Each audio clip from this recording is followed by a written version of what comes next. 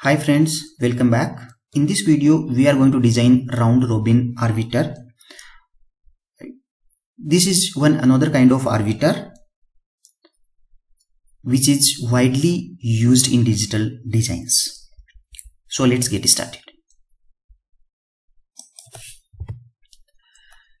So first we are going to see what is an arbiter and what is the need of an arbiter in digital designs. Then we are going to see its applications and examples, the advantage and disadvantage of round robin arbiter. Then we are going to implement the Verilog HDL of round robin arbiter. We are going to synthesize the designs and simulate it using a Verilog test bench. So here you can see that there are four CPUs which are trying to access a common shared resource which is memory. The memory can be accessed only by a single CPU at a time. So in order to enable this mechanism of accessing the memory by a single CPU at a same uh, single CPU at a times we need some additional hardware to implement this feature. The additional hardware is nothing but an arbiter. So here we are going to use a round robin arbiter where the four CPUs will get access to the memory one by one in a round robin fashion. For examples, if all the CPUs are accessing trying to access the memory at the same time then they will get access one by one for example, first CPU 0 will get, then CPU 1, then CPU 2 and then CPU 3. Here one another important point to note that this arbiter basically implements fixed time slice. What does that mean is every CPU will have a predefined fixed time to access the memory.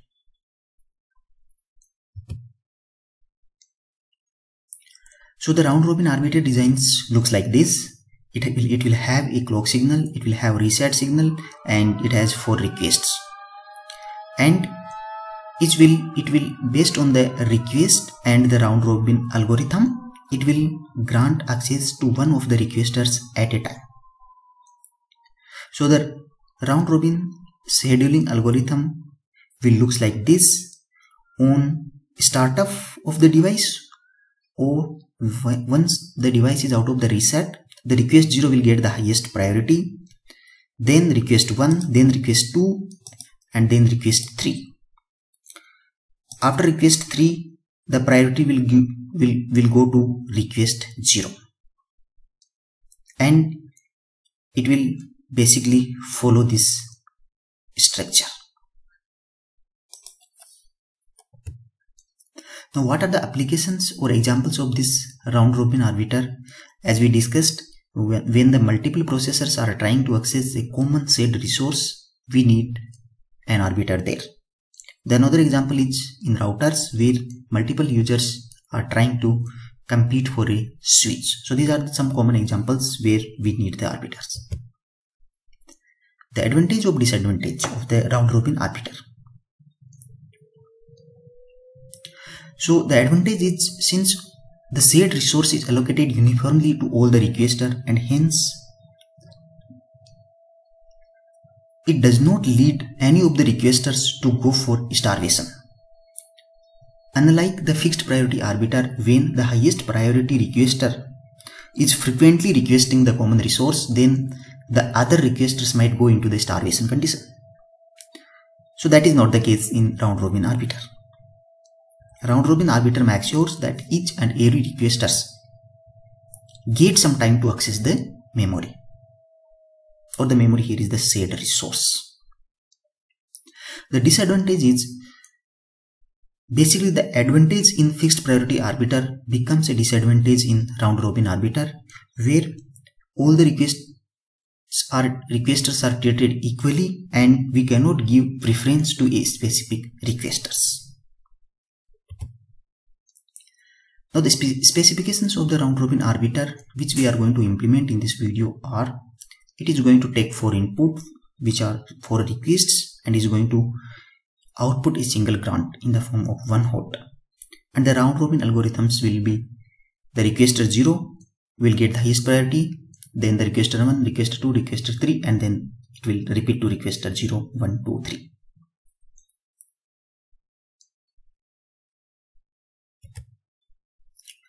we are going to use the EDA playground which is a web-based applications to code the design and synthesize and simulate it the EDA playground has inbuilt open source tools like Yosys for synthesis and Riviera for simulations. So now let's open the EDA playgrounds and synthesize and simulate the design. So I have basically coded the designs round robin arbiter with fixed time slices and we will go through these designs and we will understand and then we will synthesize and simulate it. So now let's get started. So the round robin arbiter will have clock input, reset input, three requests and a ground output signal. 4 bit ground output signal. Now we are going to use FSM techniques to implement these designs.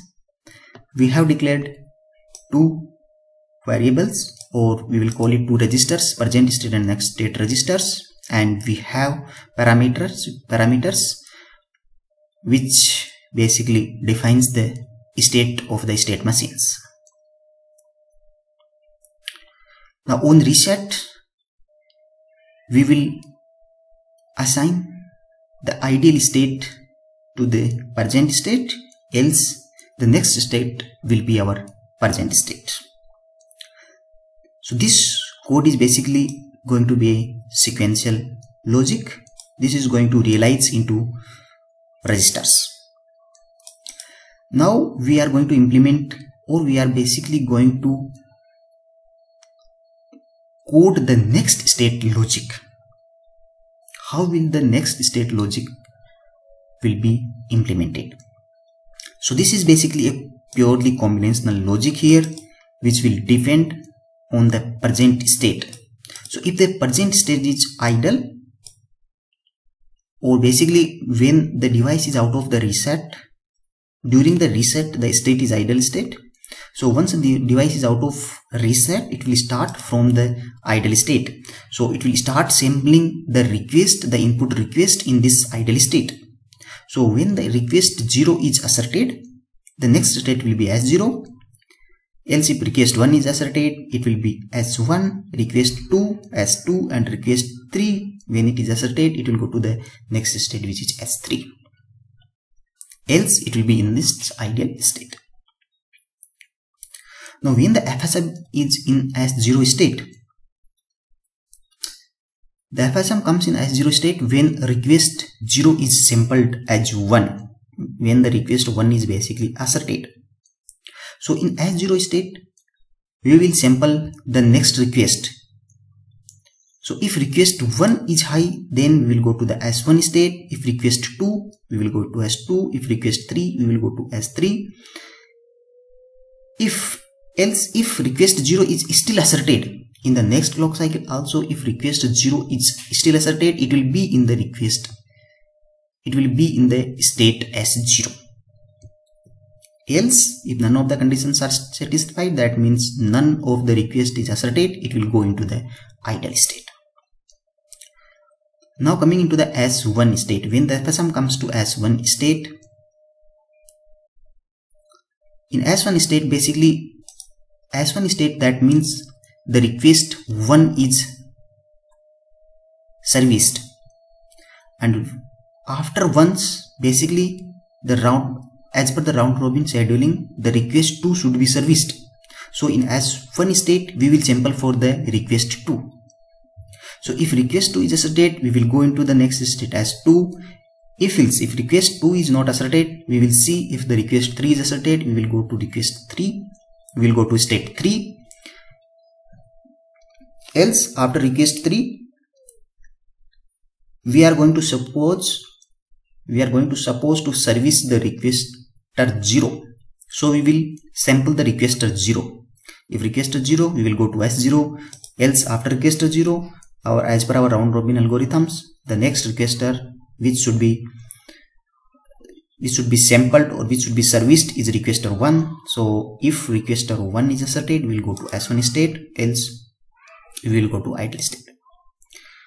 Once we are in the s2 state that means we are basically servicing the request 2 then we will when we are in the S, S2 states we will basically see if requester 3 has a state. the in when we are in the request S2 state the next priority is basically to sample the requester 3 so if the requester 3 is asserted we will go to s3 state otherwise after requester 3 the next priority is requester 0 so it will go into the requester 0 it will sample the requester 0 if the requester 0 is asserted the next state is s0 else if request 1 is asserted it will go to s1 state. If request 2 is asserted it will go to s2 state. Else it will go to idle state.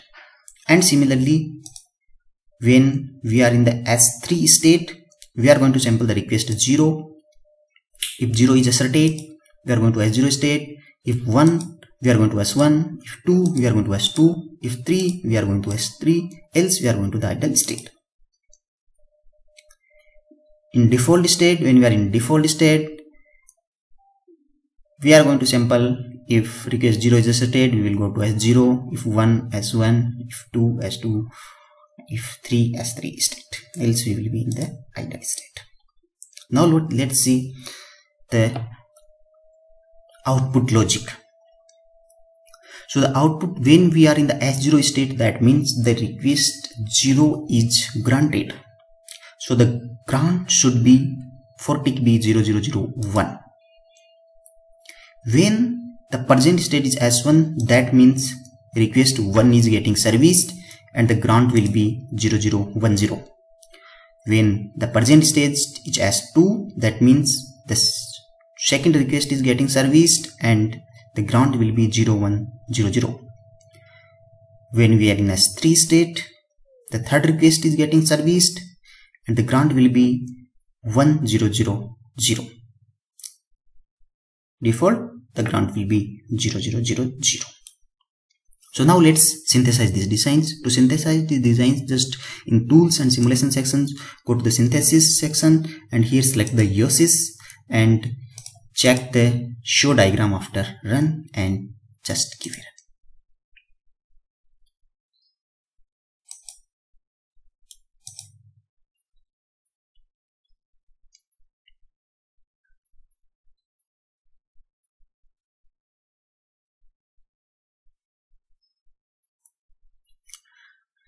So actually this is the diagram synthesis diagram which results after synthesizing these designs. So it is a pretty uh, big diagram but we can analyze this diagram and we can basically analyze gate by gate flop by flop how the flops and the logic gates are getting realized.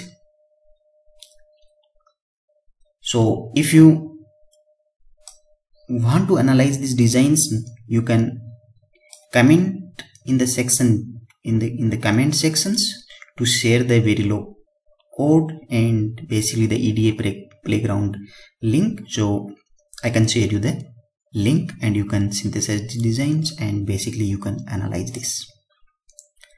Now let's simulate this design. So to simulate these designs, I have written the Verilog test bench. So these are the inputs, clock reset request, and we have the grant is an output signal. Then we have instantiated the DUT. We have generated a 10 nanosecond clock here. Here we have initialized reset is asserted initially then after 5 nanosecond we have the reset is getting deasserted and we are basically randomly we are driving the request signal and after some times we are resetting the designs and finishing the simulation so this action is basically to dump the signals into waveform window so to simulate these designs, you can select the Aldec Riviera Pro simulator and just check in the open EP view after run and just give it.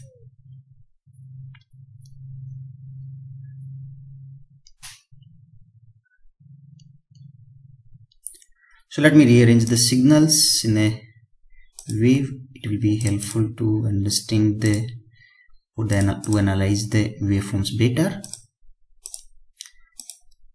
I am going to change the radix into binary so that we can see the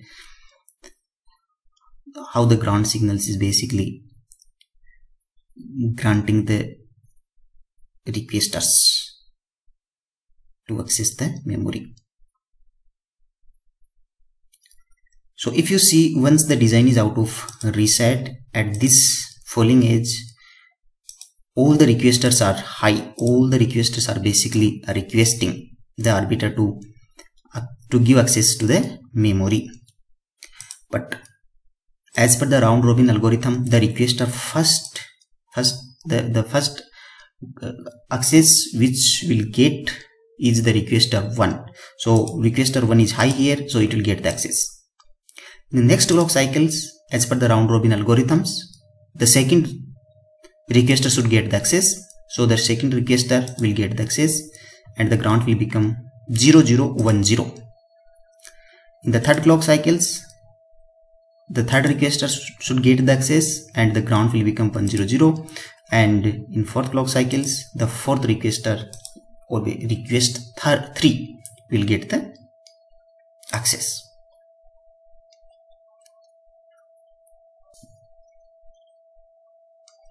Now at this falling edge we see that the requester first, second and third requesters are basically trying to access the memory. So when the first, second and third are trying to access the memory, requester first should get the access. In the next clock cycles, you see that requester's second requester first second third requester is trying to access the memory then it should get the access. Here we see that third requester here here the third requester in the previous cycle if you see here the third requester was granted access. So the, the, so the so now in the next clock cycles basically the preference is for the fourth requester will get the access. So here we will see if the fourth requester is still uh, basically still requesting the access. So yes at this rising edge clock edge the fourth requester is the fourth request is high. So the ground the fourth requester will be granted access to the memory. Now again after the after the fourth it will come to the first.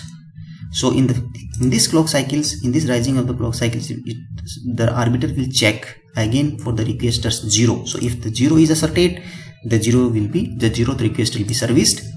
The next clock cycles 1 if 1 is asserted the 1 will be serviced. In the next clock cycles third will be serviced because the third request is asserted but the design goes into the reset. The reset is asserted here and the ground becomes 0 0